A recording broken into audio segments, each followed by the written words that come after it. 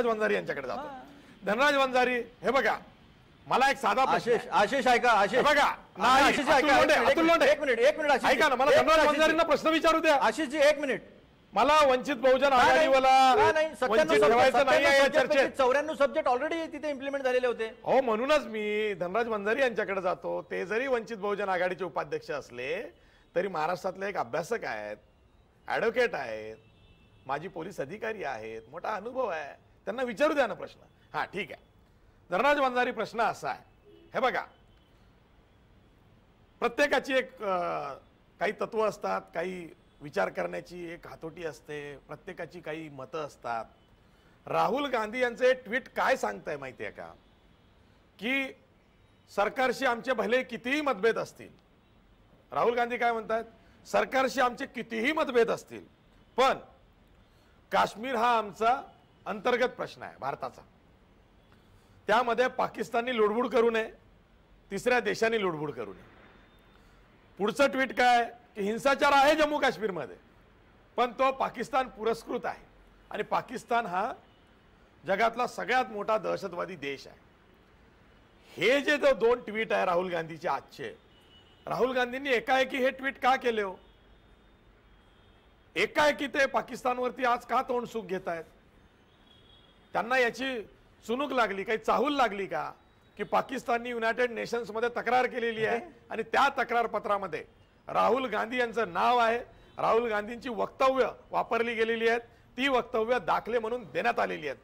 मला प्रश्न हा विचारायचा आहे की राहुल गांधी हे विरोधी पक्षाचे एक मोठे नेते आहेत आता. ते आपली अशी धडसोड वृत्ती आपल्या ट्विटमधून सुद्धा का दाखवतात? तुम्ही तुमच्या भूमिकेवरती ठाम राहा ना. तुम्हाला एवढा एवढा तुम्ही का घाबरता जन्मताला? की तुम्हाला असं वाटतं की पाकिस्तानचे नाव घेतलं तर आपल्याला काही मतं मिळतील? आज आपण पाकिस्तानला विलन ठरवूया. सरकारसुद्धा आपल्यासोबत राहील. सरकार आपल्यावर कोरडं ओढणार नाही. म्हणजे राहुल गांधी आणि काँग्रेससुद्धा आर्टिकल तीनशे सत्तरचा प्रश्न असेल किंवा काश्मीरचा प्रश्न असेल द्विधा मनस्थितीत आहे. काँग्रेसला अजूनही ठोस अशी भूमिका या प्रश्नावर घेता येत नाही. त्याचं हे द्योतक आहे. अगदी खरं आहे आशिष. हे राहुल गांधीचं आज फिरलेलं वक्तव्य म्हणजे त्यांच्या आधीची वक्तव्य आणि आजचं फिरलेलं वक्तव्य हे जर आपल्याला तपासून बघायचं असेल तर त्याच्यावर जरा प्रकाश झोत टाकावा लागेल. आणि तो प्रकाश झोत म्हणजे जशी आज तू सुरुवात केली की पाकिस्तानने संयुक्त राष्ट्र परिषदेमध्ये ही याचिका घेऊन त्याची पाच न्यायाधीशासमोर सुनावणी होणार आहे. पाकिस्तानचं म्हणणं या ठिकाणी काय आहे आणि पाकिस्तानला काय साध्य करून सर घ्यायचं सर सर जरा सर सर आपल्याला सर सर समजून सर घेता सर येईल. मी मी स्पष्ट करतो. सुप्रीम कोर्टानं आज सांगितलेलं आहे. सुप्रीम कोर्टानं केंद्र सरकारला नोटीस बजावलेली आहे. आठवड्याभराच्या आत तुम्ही परिस्थितीचा अहवाल द्या आणि सुप्रीम कोर्टाच्या पाच जजेसचं घटनापीठ असणार आहे. आठ ऑक्टोबरच्या पहिल्या आठवड्यामध्ये सुनावणी होणार आहे. संयुक्त राष्ट्राला केवळ पत्र गेलेलं आहे पाकिस्तानचं. बाकी तिकडे काही झालेलं नाही. नाही सुप्रीम कोर्टाने जे दिलेलं आहे त्याची ही पूर्वतयारी आपण असं समजूया की उद्या जर भारताला आपली बाजू मांडायची असेल संयुक्त राष्ट्र संघामध्ये तर त्याची ती एक तयारी आहे असं आपण समजूया. मेन मुद्दा या ठिकाणी आपण जो विसरतोय सगळे तो विसरतोय पाक ऑक्युपाईड काश्मीर गिलबिट आणि बाल्टिस्तान जे पाकिस्ताननी जानेवारी दोन हजार सतरा मध्ये आमचं पाचवं प्रोव्हिन्स आहे म्हणून डिक्लेअर करून टाकलेलं आहे.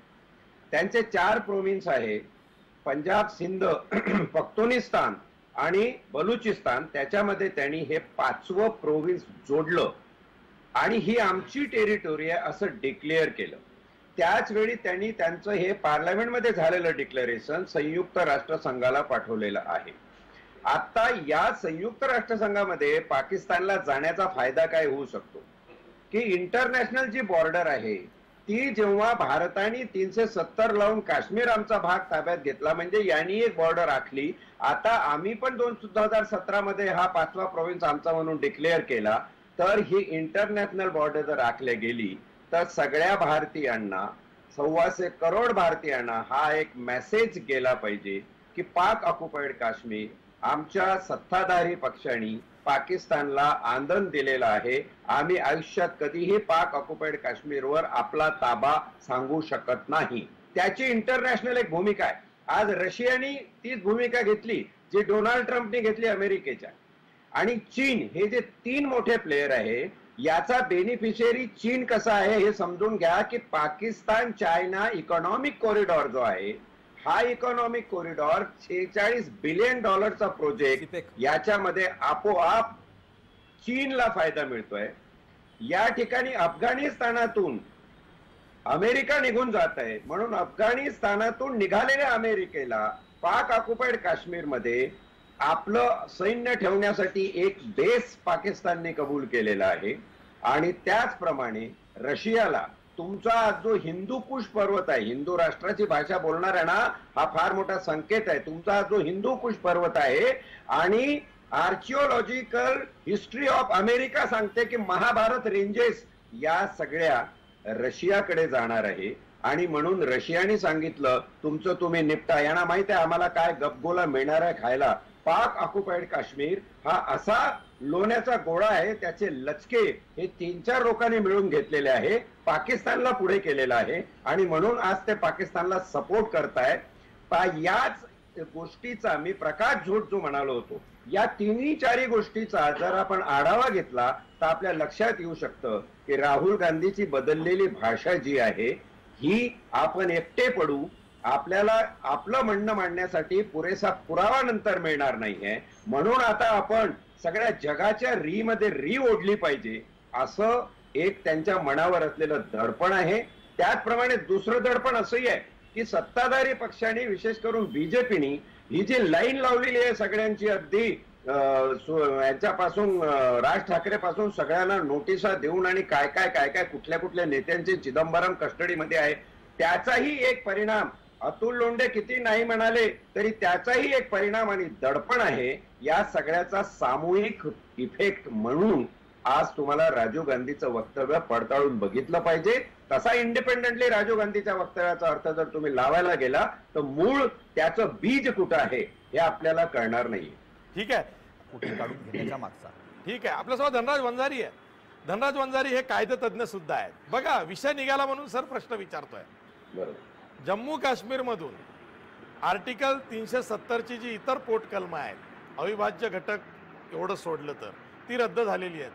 त्यामध्ये एक पोटकलम असं सुद्धा होतं की जम्मू काश्मीरमध्ये इकॉनॉमिक इमर्जन्सी लागणार नाही कुठल्याही परिस्थितीमध्ये. त्यांचे ते अधिकार अबाधित राहतील. पण आता जर का संपूर्ण देशात आर्टिकल थ्री सिक्स्टी लागू झालं तर ते जम्मू काश्मीरला पण लागू होईल. होऊ शकतं की नाही? सांगा. अतिशय चांगल्या वळणावर तू ही चर्चा आणलेली आहे Ashish hats up to you अँकरचं खरं काम हेच असतं. अतुल लोंढे जे बोलले ते खरं आहे. पण त्याच्यामध्ये मला एक माहिती अशी जोडायची आहे की तीनशे साठ आर्थिक इमर्जन्सी जर या देशामध्ये लागली तर आपण संपूर्ण जगाच्या नजरेत खाली पडू. आपल्या आंतरराष्ट्रीय आर्थिक व्यवहार जे आहे ते कोलमडून पडतील. आपले व्यापाराचे जे करार मदार आहे इतर देशांबरोबर झालेले जे मोदीजींनी अनेक राष्ट्रामध्ये प्रवास करून करून घेतले ते कोलमोडून पडतील? ही परिस्थिती दोन हजार सोळा मध्ये असताना दोन हजार सतरा मध्ये तिचं विपरीत स्वरूप झालं आणि जेव्हा यांनी नोटाबंदी लावली तेव्हाच काही अर्थतज्ञांनी असं म्हटलं होतं की भारत हा आर्थिकदृष्ट्या तुटत चाललाय आणि म्हणून हे नोटाबंदीचं विरोध यांनी लावलेलं आहे. ते झाल्यानंतर जीएसटी आली. जीएसटी नंतर आता रिझर्व्ह बँकेचं डिपॉझिट गेलं. याचा अर्थ असा आहे की आपण तीनशे साठ प्रमाणे असलेल्या आर्थिक मंदीतून जात आहोत. फक्त ती इमर्जन्सी आपण लावू शकत नाही. त्याच्यासाठी कितीही इंचाची छाती असली तर ती कामी येणार नाही.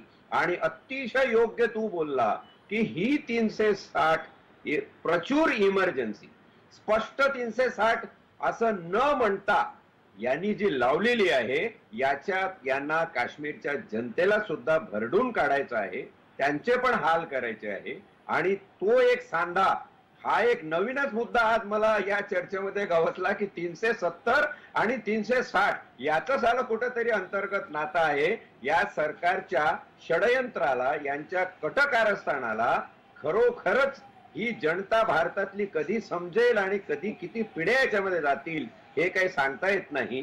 तरुणांचं भवितव्य अक्षरशः अंधारमय झालेलं आहे बेरोजगार झालेले आहे. ऑटोमोबाईल सारखं पार्ले सारखं बिस्किटाची साधी कंपनी पाच रुपयाचा पुडा बिस्किटाचा घेऊन खायची लोकांची क्षमता राहिली नाही. इथपर्यंत तुम्ही हे करत आहात एक गोष्ट लक्षात ठेवा. हे जे पाप तुम्ही आज करत आहात याची किंमत या सगळ्या देशातल्या भोळ्या बाबड्या लोकांना चुकवावी लागणार आहे. तुम्ही तुमच्या सत्तेचे दिवस तुम्ही कसा संबंध असू. शकतो